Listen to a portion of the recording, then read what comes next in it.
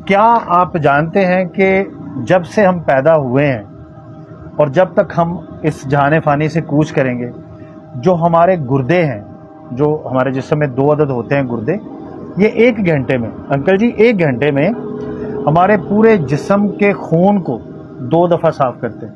एक घंटे में दो दफ़ा साफ़ करते हैं मतलब क्या?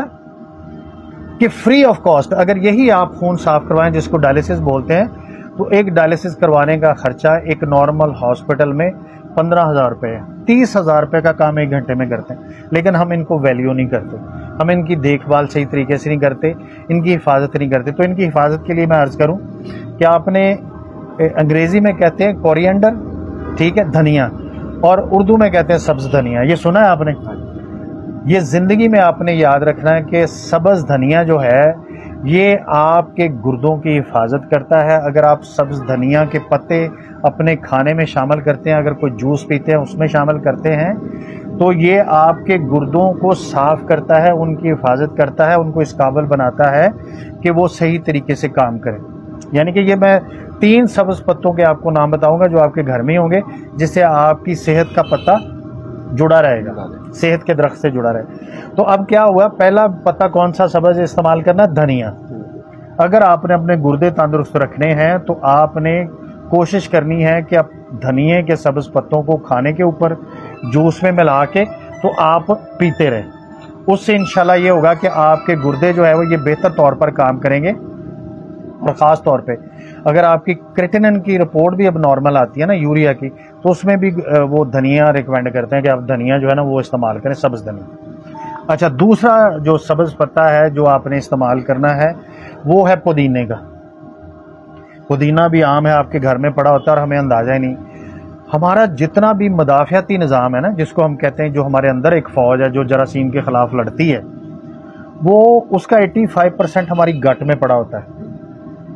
85 परसेंट हमारी गट में पड़ा होता है। और अगर हम पुदीना खाते रहें, पुदीना खाते रहें तो ये आपकी गट के जो इम्यूनिटी सिस्टम के जरासीम है ना, जिनको मुदाफियाती से जरासीम कहते हैं, आपकी इम्यूनिटी की ताकत होती है, उनको ये तगड़ा कर देता है, पुदीने का पता। और अगर खुदा ना खास्ता आपको कोलेस्ट्रॉल है तो उसमें आपका कोलेस्ट्रॉल भी कम कर देता है। और अगर ब्लड प्रेशर है तो उसको भी कम कर देता है। तो इसलिए पुदीने के पत्ते भी आपने रेगुलर बेसिस पे अपने घर में रखने और इस्तेमाल करने। और तीसरा है, आपने सुना होगा कड़ी पत्ता। कड़ी पत्ता इतनी ज़बरदस्त चीज़ है कि अगर किसी भी शख्स के जोड़ों में दर्द है, आप उसको दोपहर के खाने से पहले पंद्रह पत्ते दें, रात के खाने से पहले पंद्रह पत्ते दें, उसके जोड़ों में दर्द ख़त्म हो जाएगा। और इसमें अल्लाह ताला ने कैल्शियम वाफर मकदार में डाला है। और कैल्शियम जो है, वो आपकी हड्डियों को मज़बूत करता है। और दूसरा बहुत सारे बच्चे एक तो बाल गिरते हैं आपके अगर वालदेन के बाल कमज़ोर हैं तो आपके बाल गिरते हैं। अगर आपके अंदर वैसे को कमज़ोरी है जिसकी वजह से बाल गिरते हैं तो अगर वो आप कड़ी पत्ता इस्तेमाल करेंगे जूस में डाल के खाने में डाल के आप इस्तेमाल करेंगे तो आपके बाल गिरना बंद हो जाए तो ये तीन जो सब्ज पत्ते हैं ना जो आपको बताएँ जो आपके घर में अल्लाह ताला की नेमत पड़ी है लेकिन आपको उसकी कदर नहीं है आपको उसके इस्तेमाल का पता नहीं जिसकी वजह से आपको इशूज इसमें अगर छोटी सी चीज़ ऐड कर लें आजकल वो अवेलेबल है। नींबू लीमू जिसे कहते हैं। हमारे जिसम को विटामिन सी की ज़रूरत होती है। एक सत्तर मिलीग्राम रोज़ाना हमें विटामिन सी चाहिए।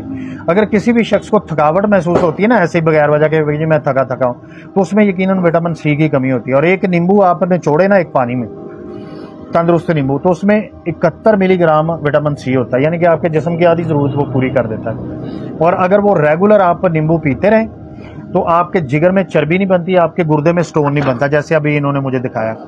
तो आपके गुर्दे में स्टोन बनने से रोकता है जिगर में चर, चर्बी बनने से रोकता है और आजकल फैटी लीवर का इशू है। ये फैटी लीवर उसको ख़त्म करता है फैटी लीवर के इशू को ख़त्म करता है। तो नींबू भी आसानी से अवेलेबल है नींबू पानी आप रोज़ाना इस्तेमाल करें लेकिन बगैर चीनी और बगैर नमक डालें नीम गर्म पानी में। आप इसको डाल के इस्तेमाल करें। तो दोस्तों ये वो छोटी छोटी बातें होती हैं जिनकी वजह से आपकी ज़िंदगी की क्वालिटी बेहतर हो जाती है।